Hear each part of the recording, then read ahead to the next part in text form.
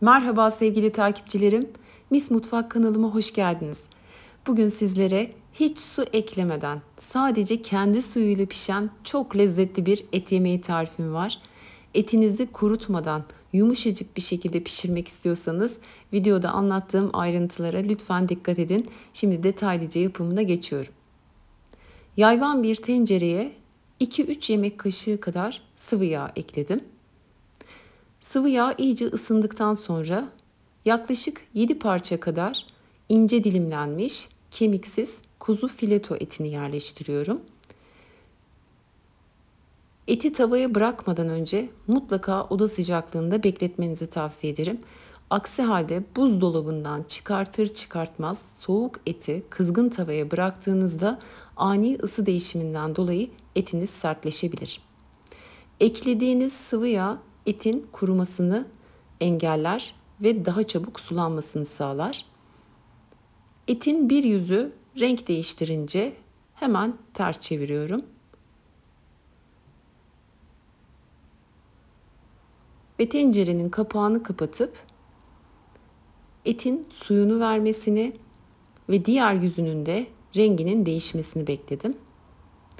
Bu aşamalarda ocağınız lütfen en kısık ateşte olsun. Bakın etin diğer yüzü de rengini değiştirdi.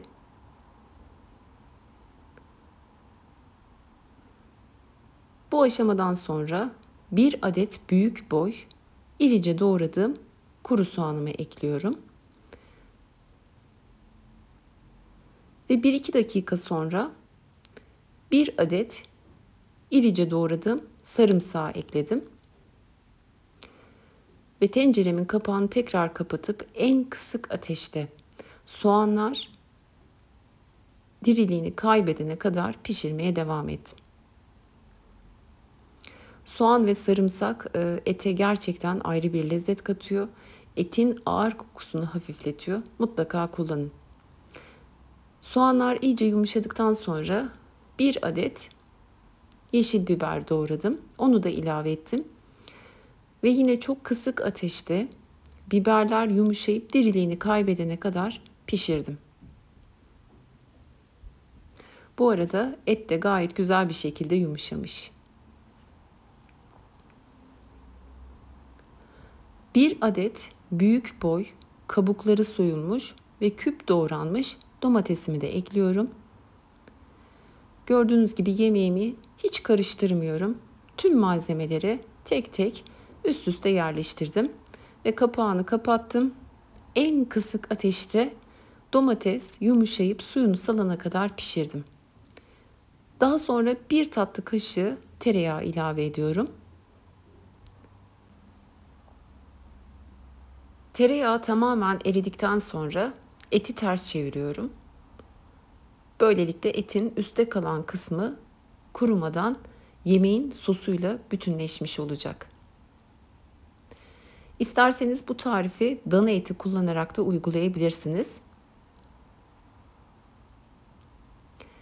Etin piştiğinden emin olduktan sonra en son tuz ve baharatını ilave ediyorum. Yarım tatlı kaşığı tuz ve bir tatlı kaşığı kekik kullandım. Arzu ettiğiniz, sevdiğiniz baharatları da kullanabilirsiniz. Evet yemeğim pişti. Servise hazır. Et yemeklerini ben sulu seviyorum. Bir sonraki ısıttığımda böylelikle et kuru kalmıyor. Ama arzu edenler daha az sulu sevenler biraz daha pişirip sosunu çektirebilir. Yumuşacık, sadece kendi suyuyla ve sebzelerin suyuyla pişen nefis bir et yemeği oldu. Mutlaka denemenizi tavsiye ederim. Deneyenlerin de yorumlarını özellikle bekliyorum. Kanalımda buna benzer birçok et, köfte, tavuk yemeği ve çorba tarifleri de mevcut. Onlara da bakıp fikir alabilirsiniz. Hepsinin bağlantı linkini videoma ekledim. Tarifimle ilgili bir sorunuz olursa da bana yorumlar kısmından ulaşabilirsiniz. Yeni tariflerimden ve videolarımdan haberdar olabilmek için kanalıma ücretsiz abone olup bildirim zilini açık tutmanız yeterlidir. İnşallah daha güzel ve farklı tariflerle tekrar görüşmek üzere. Sağlıcakla kalın.